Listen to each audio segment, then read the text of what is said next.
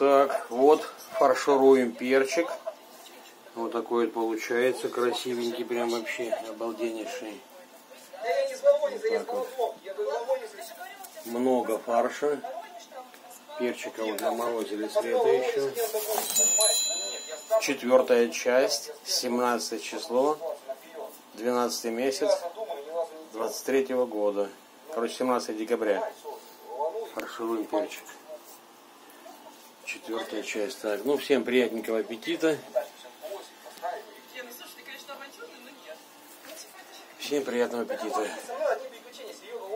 Скоро будет выйдет пятая часть фаршированного перчика. А это бульон к нему. Это бульон, который будет заливаться в перчик фаршированный. Это холодец и еще оставшийся, который варится. Ну все, всем до пятой части.